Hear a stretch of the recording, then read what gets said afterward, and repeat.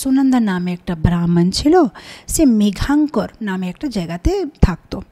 তো মেঘাঙ্কর নামে জায়গাতে থাকতো, ওর একটা নিয়ম ছিল, প্রতিদিন এই যে একাদশ অধ্যায় পাঠ করতো, খুব আনন্দে ছিল।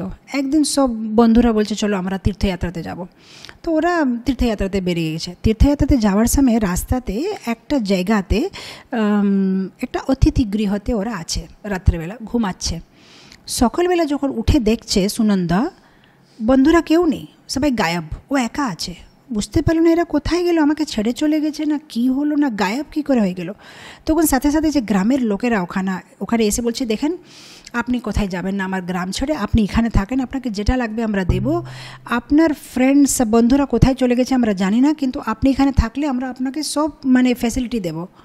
এ বুঝতে পারছে না, এরা কেন আমাকে এত রিকোয়েস্ট করছে? চলো ঠিক আছে, থাকব থাকব এখান থেকে, আমার কি আছে? যেখানে আমাকে থাকতে হবে, তো ওখানে থাকছে।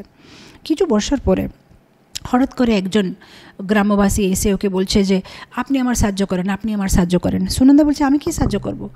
বলছে, আমি আজকে আপনাকে একটা সত্যি কথা বলতে চাই, যেটা আমি, আমরা আপনা থেকে লুকিয়েছিলাম। যে কী সত্যি কথা? বলছে অ্যাকচুয়ালি আমার গ্রাম আমাদের গ্রামে প্রতিদিন একটা রাক্ষস আসতো। সে সবাইকে খেয়ে ফেলতো। তো আমরা ও রাক্ষসের সাথে একটা ডিল বানিয়েছি যে, তুমি গ্রামবাসীকে খাবে না, আমরা একটা অতিথি গৃহ বানাচ্ছি। এখানে যারা আসবে, তুমি তাদেরকে খাবে। গ্রামবাসীদেরকে ছেড়ে দাও। সেই জন্য আমাদের অতিথি গ্রহতে যারা আসে, তাদেরকেও রাক্ষস খেয়ে নে, চলে যায়, ঠিক আছে। কিন্তু সেদিনে রাত্রে সব আপনাদের বন্ধুদেরকে খেয়ে নিয়েছে, কিন্তু আপনাকে খেতে পারেনি। জানি না কেন, আপনার ভিতরে কী শক্তি আছে আমরা জানি না। কিন্তু দেখেন কাল রাত্রে কি হয়েছে। আমার ছেলে দূর দেশ থেকে পড়াশিক্ষা করতে জন্য গিয়েছিল, ওই জিনিসটা জানেনি। ও ওর বন্ধুর সাথে রাত্রে অতিথি গৃহতে থেকে গেছে। এখন দেখো ও রাক্ষস ওকে খেয়ে নিয়েছে। দয়া করে আমার ছেলেকে বাঁচান। আমি যখন রাক্ষস কাছে গিয়ে বললাম যে, আমার ছেলেকে কেন খেয়েছো? ও তো গ্রামবাসী। তখন এই বলেছে, আমি কি করে জানব? তোমরা বলেছ অতিথি গৃহতে যে থাকে তাকে খাওয়া যাবে, আমি খেয়ে নিয়েছি। এখন আপনি আমাদের রক্ষা করেন। তখন সুনন্দা বলছে, দেখো, আমি বেশি কিছু জানি না। আমি মন্ত্র মানে আমি তো একটাই জিনিস করি। প্রতিদিন এই ভগবদ্গীতার একাদশ অধ্যায়টা পাঠ করবি। এটা ছাড়া আমি আর কিছু মন্ত্র জানি না। যদি সেটা তোমাদের সাহায্য হবে, তাহলে আমি সেটা পাঠ করতে পারি।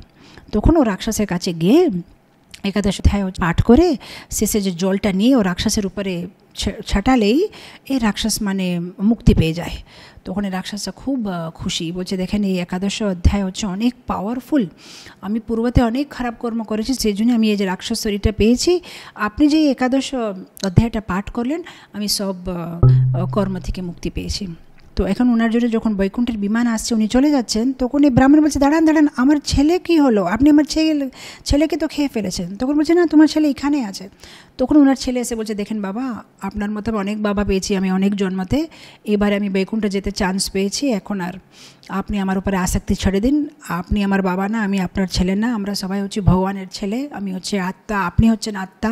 এটা আমরা শরীর না, আমাকে যেতে দিন। তারপরে ও বৈকুণ্ঠ ধামে চলে যাচ্ছে। তখন এই গ্রামবাসীরা সবাই বুঝতে পারছে যে, ও, একাদশ অধ্যায় এত পাওয়ারফুল তখন থেকে গ্রামের সবাই মানে ওই যে একাদশ অধ্যায় পাঠ করছে। তো যদি আমাদের যদি কিছু অশুভ হচ্ছে, তাহলে আমাদের একাদশ অধ্যায় পাঠ করতে হবে। তাহলে জীবনে সব অশুভ চলে যাবে, সব কিছু শুভ হয়ে যাবে। তো আমরা একটা শ্লোক পাঠ করে।